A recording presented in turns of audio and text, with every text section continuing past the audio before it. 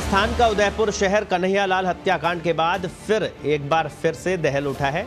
शुक्रवार सुबह, यानी कल सुबह, सरकारी स्कूल में दसवीं कक्षा के दो छात्रों के बीच झगड़े के बाद एक ने दूसरे पर चाकू से वार कर दिया, जिसके चलते शहर में माहौल तनावपूर्ण हो गया।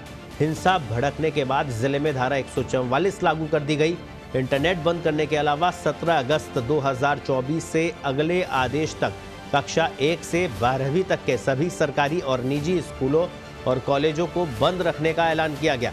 वहीं आरोपी छात्र का दूसरे छात्र पर चाकू से वार करने वाला सीसीटीवी फुटेज भी सामने आया है, जिसमें कुल आठ छात्र नज़र आ रहे हैं। चार छात्र आगे चल रहे हैं।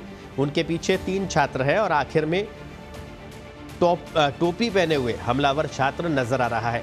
सीसीटीवी फुटेज में साफ़ तौर पर देखा जा सकता है कि आरोपी छात्र वारदात को अंजाम देने के बाद स्कूल की तरफ़ जा रहा था, लेकिन अचानक रुककर वो वापस मुड़ा और स्कूटी पर बैठकर वहाँ से फरार होता गया।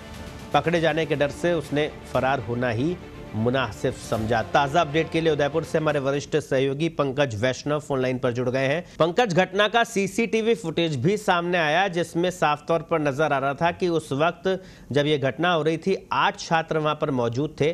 आरोपी जो है वो चाकू से हमला कर रहा था, लेकिन अन्य छात्रों से बचाने के बजाय उसका साथ दे रहे थे। जी, बिल्कुल इस तरह का एक सीसीटीवी फुटेज सामने आया है क्योंकि जहाँ पर घटना स्थल है, वो सरकारी स्कूल के पास का घटना स्थल है और पुराने शहर की तंग गली का एक घटना स्थल है तो इसलिए यहाँ पर फ़िलहाल जो सीसीटीवी फुटेज सामने आए वहाँ पर अन्य लोग मौजूद नहीं थे बल्कि सिर्फ़ छात्रों की मौजूदगी थी और जिससे सीसीटीवी फुटेज में दिख रहा है उसकी पुलिस जाँच कर रही है।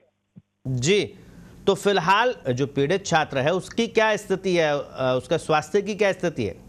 जी बिल्कुल जिस तरह से कल उस छात्र की गंभीर स्थिति बनी हुई थी और रात भर उसका उपचार चलता रहा। विशेषज्ञ चिकित्सक जुटे रहे और जयपुर से भी है कि तीन चिकित्सकों की एक विशेष टीम को यहाँ पर उदयपुर भेजा गया है ताकि उस छात्र की स्वास्थ्य को लेकर अच्छी तरह से निगरानी की जा सके और जिस तरह से उपचार चल रहा है, फ़िलहाल कल जैसी स्थिति आज भी बनी हुई है।